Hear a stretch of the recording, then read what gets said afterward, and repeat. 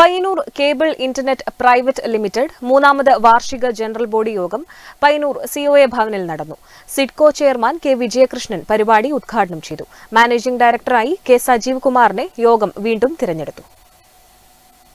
Payyanur cable internet private limited മൂന്നാമത് വാർഷിക general body യോഗം പയ്യന്നൂർ സിഒഎ ഭവനിൽ നടന്നു. സിഡ്കോ ചെയർമാൻ കെ വിജയകൃഷ്ണൻ യോഗം ഉദ്ഘാടനം ചെയ്തു ചാനൽ തന്നെയാണ് അതിന് കാര്യം അപ്പൊ ചാനലിലൂടെ നേരിട്ട് പറയാനുള്ളതല്ല അത് പറയുന്ന രീതിയിൽ അതായത് ഒരു മീഡിയ അത്തരം ഡിസ്കഷൻസ് അപ്പൊ അത് നമ്മുടെ കാര്യം മാത്രം പറഞ്ഞാൽ പോലെ നമ്മുടെ കാര്യം മാത്രം പറയുമ്പോൾ ആളുകൾക്ക് പിന്നെ ഓ അവരുടെ കാര്യം പറയുന്നു. നമ്മുടെ കാര്യം മാത്രമല്ല നമ്മളെ പോലെ തന്നെ ഈ പ്രതിസന്ധി നേരിട്ടുകൊണ്ടിരിക്കുന്ന എല്ലാ വിഭാഗവും. അത് വ്യാപാരികളുണ്ടായിരിക്കാം അല്ലെങ്കിൽ മറ്റ് ചെറുകിട വ്യവസായികളുണ്ടായിരിക്കാം. ഒരുപക്ഷെ ഈ കാർഷിക മേഖല നമ്മൾക്ക് ഡയറക്റ്റായി നേരിടാൻ തുടങ്ങിയിരിക്കുമല്ലോ കാർഷിക മേഖലയിലും ഇത് എൻ പുരുഷോത്തമൻ അധ്യക്ഷനായി. സി ഒ എ ജില്ലാ പ്രസിഡന്റ് വി ജയകൃഷ്ണൻ.